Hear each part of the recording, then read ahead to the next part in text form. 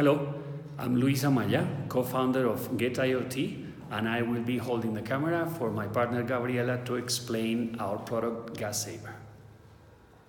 Hi, I'm Gabriela. We're going to talk to you a little bit about our project and why we decided to start it.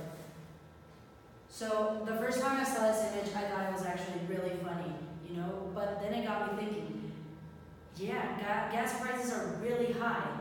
Actually, from February last year to February prices went up all the way 24% in some states in Mexico City. And well, the biggest waste comes from uh, type water heaters. Actually, 40% of gas consumption in homes is wasted because of this type of water heater. So normally when people have this water heater, they have two options. Or they change the entire water heater, or what they have to do is get up every day, turn on the water heater, take a shower, and then turn it back off. But not many people actually do this. So we decided to start a project called GaSaver, which is an, an electronic device, a mobile application, and a cloud service that helps people reduce their gas consumption. The way that we do this is that um, we integrate our electronic device to the water heater and we can control when the person turns the water heater on and off. That way, instead of having 24 hours a day, you only have it like an hour and a half on.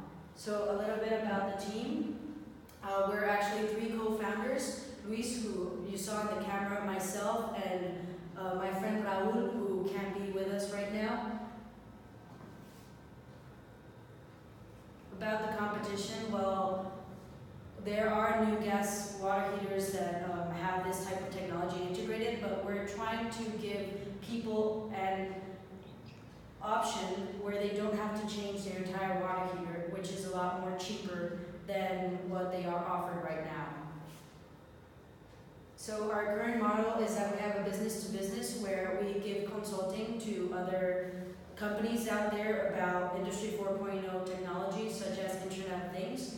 And for business to consumers, well, we create products for them to help them improve their lives.